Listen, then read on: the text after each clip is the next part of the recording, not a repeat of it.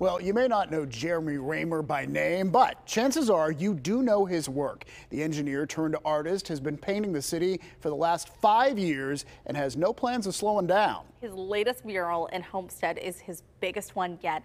Mikey Hood has more on the artist and his canvas. Yeah, good morning, guys. Josh Gibson, a baseball legend, a player for the old Homestead Grays. He's now larger than life. His face is on the side of Voodoo Brewery in Homestead, and you know what? It's bringing a lot of attention to this neighborhood. You know, a lot of people say that I look like Josh Gibson. So Josh is my great grandfather. I think it's the round face.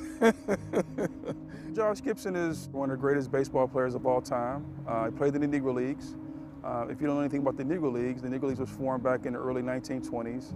And it was formed because Major League Baseball did not allow African Americans the opportunity to play baseball. Josh Gibson, known for his home runs, played for the Pittsburgh Crawfords and the Homestead Grays, considered one of the greatest baseball teams of all times. Homestead now the home to an impressive 27,000 square foot Josh Gibson mural. You know, I'll come out, I'll do a little bit of site visit, Jeremy Raymer, a self-taught artist known for his larger-than-life murals around the city, like the Clemente mural on the north side and Magneto on Penn Avenue. I wish I never met you. Singing a little techno while he works, this is one of his largest projects yet. It's been a little while since I've gotten to do one over 2,000 square foot. This one's probably around 2,500, 2,700 square foot. And this one in particular is hands down the largest portrait. Um, we scaled Josh's face pretty large on this one. If you would take this and make it life size, Josh would probably be in the realm of 180 uh, foot or so tall.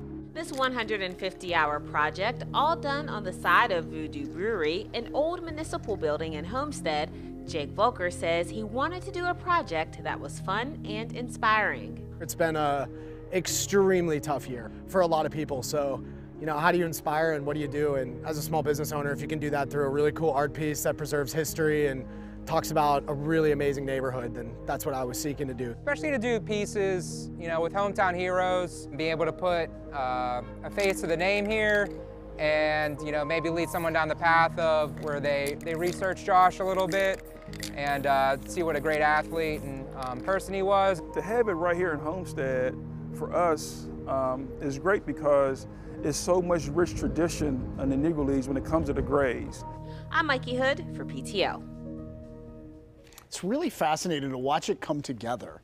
Like, I, I, have no idea how he's able to do that. That's I, just incredible. I was going to say the same thing. I wonder how he does that up there, because when you're when he has just this much space in front of right. him, how he knows about shading and coloring and adding this and adding that and the little details that go into it. Yeah, the scale is amazing, and he's so good. Follow him on Instagram. Yeah. I love following him on Instagram. It's so cool to see.